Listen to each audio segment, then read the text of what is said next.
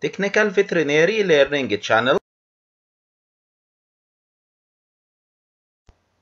Honored by Professor Ahmed Mamdouh Sherif, Professor of Epidemiology and Infectious Diseases, the ex-head of Department of Veterinary Medicine, the ex-vice dean of Faculty of Veterinary Medicine, Beni Suef University, Egypt, presents today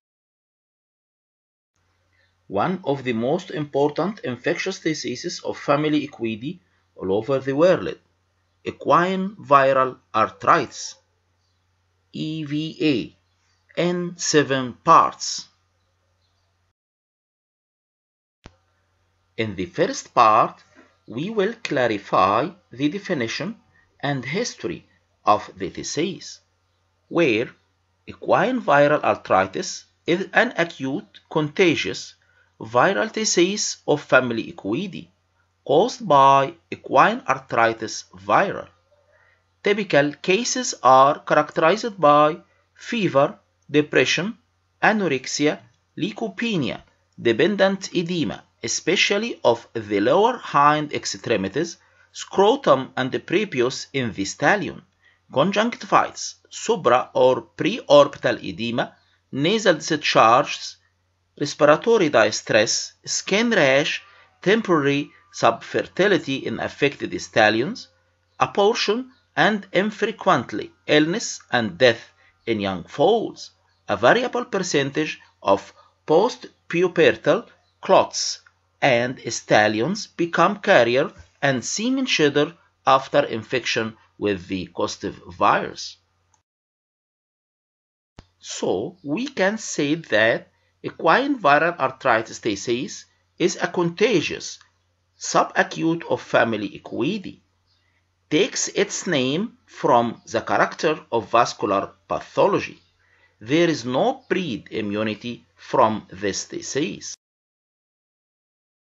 Equine viral arteritis disease characterized by the following. Number one, acute respiratory signs.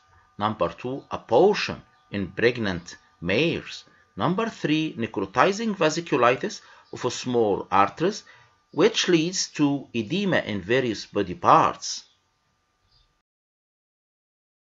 Also, equine viral arteritis disease characterized by signs of skin rashes, infertility in infected stallions, and deaths of young foals. History of equine viral arteritis disease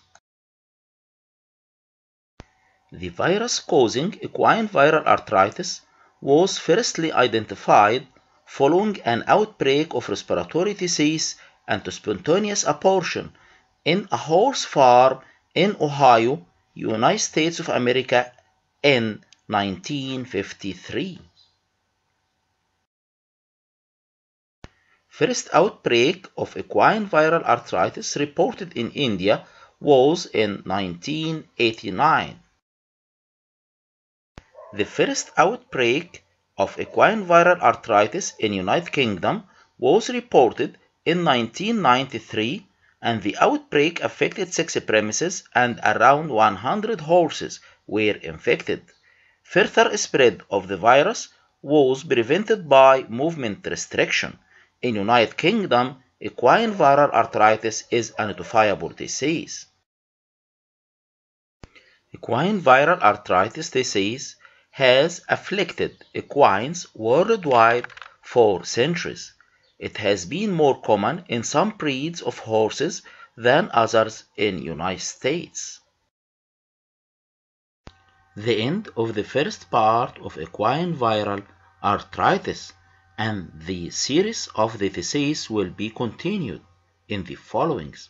So please subscribe the channel to reach to the most important knowledge about the infectious diseases of different species of animals.